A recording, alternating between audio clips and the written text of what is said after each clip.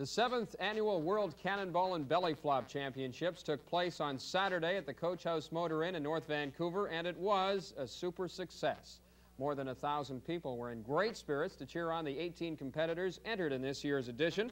Included in the 18 were winners of regional championships in Calgary, Edmonton, and Denver as the sport continues to grow. The event will be viewed by more than 20 million Americans on NBC television. I was there at the Belly Flop Championships and have this for you. It started um, with a, uh, a, promotional idea to announce the opening of a swimming pool at a, at a hotel here in Vancouver. And it grew from there. Uh, we have had over the years some interesting people at the event. Billy Carter, the former first brother of the United States, was here on two occasions. Two years ago, we had the San Diego Chicken, and uh, we have just grown from there. Right, from center court Wimbledon to center pool in Vancouver here, it, it's a change, but it's comp competition, and they have a little more fun here than they have at Wimbledon. I enjoyed it. What do you think? Anything unusual here that surprised you today? Uh, the thing that surprised me the most is all the competitors live. Splish splash, I was taking a bath, long about a Saturday night. Yeah, a rub dub, just relaxing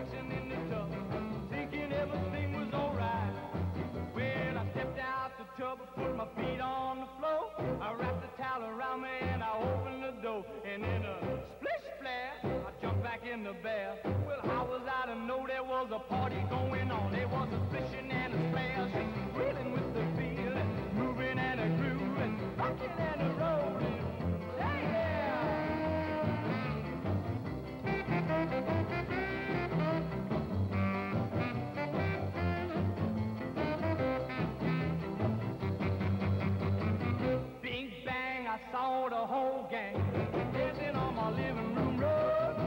Yeah, flip flops, they was doing the bop. All the teens had the dancing bug. There was lollipop with a Peggy Sue, good golly, Miss Molly was even there too. Well, a splish splash, I forgot about the bell. I went and put my dancing shoes on. Yeah, I was rolling and a rolling,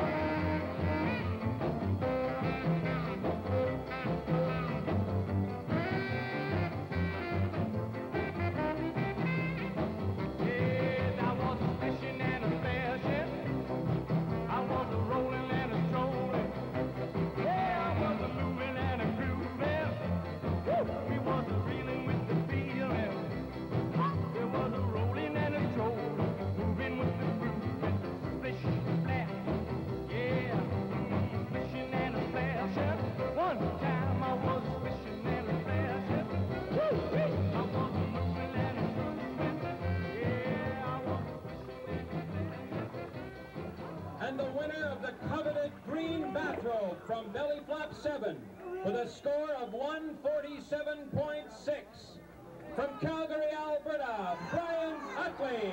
Unbelievable. That's all I can say is unbelievable. I, my goal going to this was just just to be in the top five. Uh, I didn't even think I'd win the Calgary one, and, and, this one I won. I, just, I can't believe it. That's it's unbelievable. That's all I can say about this. Did you go through a lot of training to prepare for the championships, both in Calgary and here?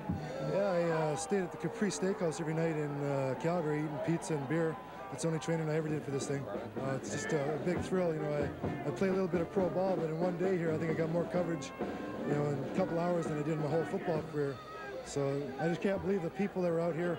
It was a super day. Uh, just, just uh, it was just one big party. It was super. Tell us about your football career.